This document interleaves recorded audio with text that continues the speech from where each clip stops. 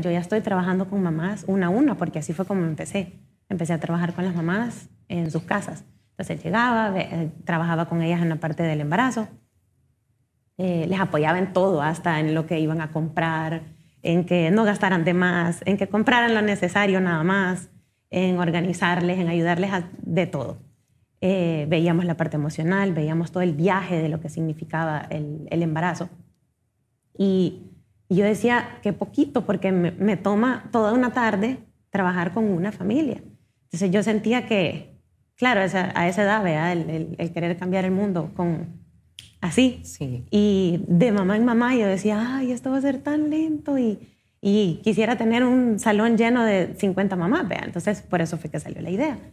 Y al principio eran cuatro parejas, cinco parejas y así llegamos a tener clases súper llenas de mamás y papás, eh, dos horarios diferentes.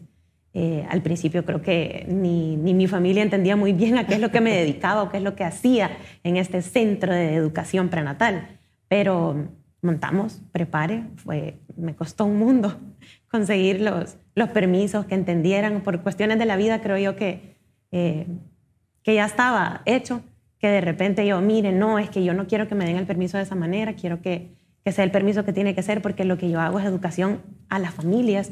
Yo trabajo con la familia cuando está embarazada y trabajamos de esta manera y así y así. Entonces me decían, no, es que eso entonces lo tiene que sacar con el Ministerio de Educación. Y yo, no, porque es de la salud.